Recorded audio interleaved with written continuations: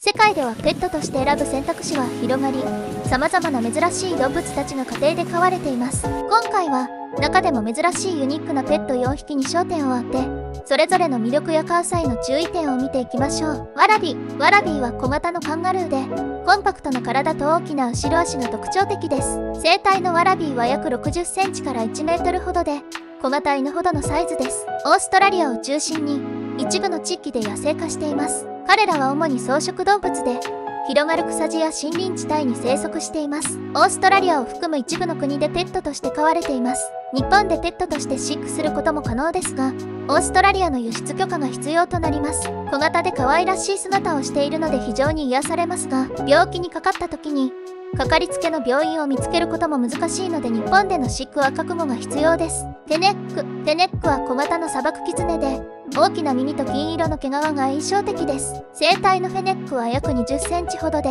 非常に小型です。ヨーロッパや北アフリカの砂漠地帯に分布しています。フェネックは砂漠地帯に適応した生態を持ち昆虫や果物を食べます。ヨーロッパ諸国などで一部の地域でペットとして飼われています。日本でペットとして飼育することも可能であり価格は80万円から100万円ほどです。夜行性であり警戒心が強い。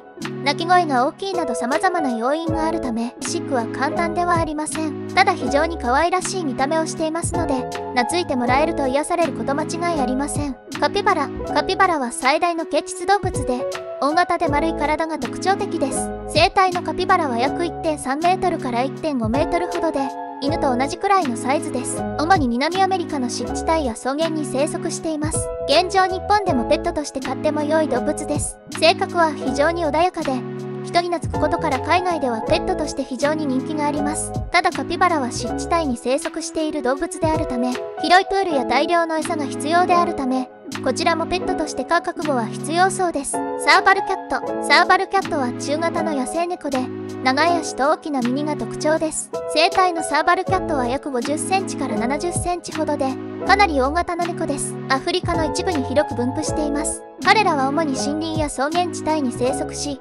俊敏な狩猟者として知られています。飼育には特別な許可や規制がありますが300万円以上で取引されたケースもあるくらい海外では非常に人気のペットです。日本では2020年6月1日の動物愛護管理法の改定によりサーバルキャットの飼育は禁止されています。鋭い爪や鋭い歯を持っており人に危害を加える恐れがあると判断されたためです。